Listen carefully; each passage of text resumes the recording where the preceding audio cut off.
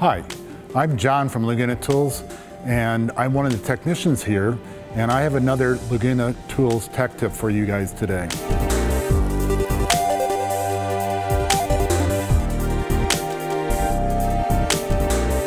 And this one is on the handheld controller, and it's there's three ways that you can actually move the gantry or the spindle around your, your tabletop, and I will demonstrate those three ways. The first way the first way to do it is continuous. And anytime it says continue down here in the lower screen, as long as you hit the plus button on the Y or X, it'll move in that direction till you take your hand off the button.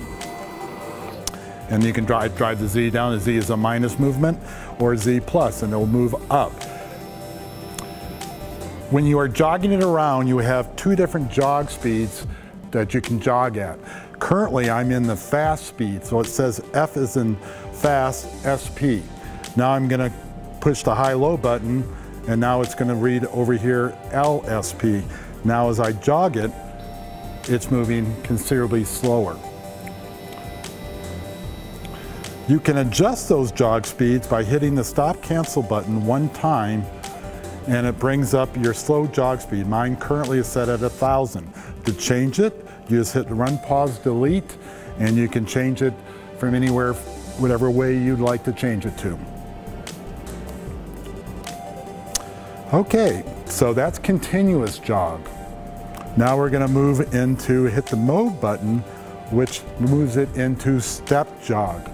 In step jog, depending if you're in high speed or low speed, if you're in high speed, which I'll turn it right now. Each time I hit the button, it's gonna move a half a millimeter. And you can probably can't see that, but it's moving a half a millimeter and you can see it on the screen here. If I'm in low jog speed and I do the same thing, it's gonna move a tenth of a millimeter. And that you definitely will not see.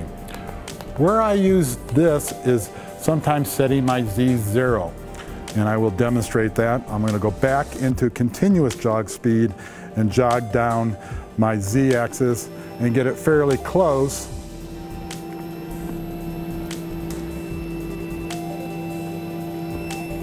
That looks good.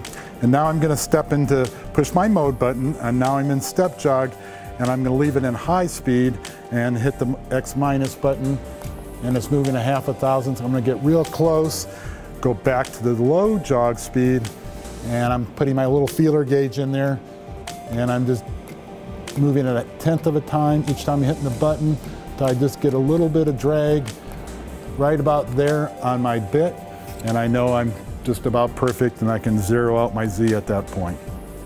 All right, so now we can move on. I'm gonna go back to continuous jog by hitting the button three times and I'm gonna jog the Z up again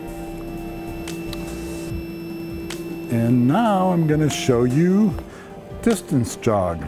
So I'm hitting the mode button two times and I'm in distance jog.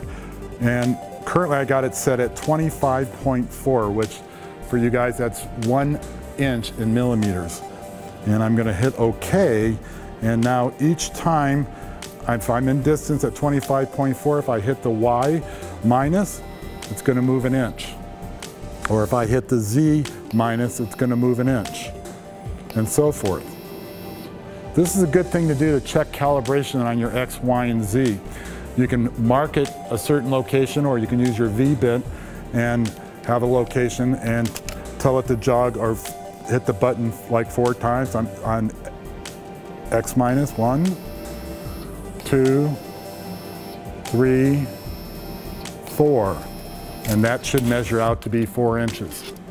That covers the three ways to move our spindle around the tabletop. If you have any more questions, call us at 800 number or go to our website, lagunatools.com. Thank you.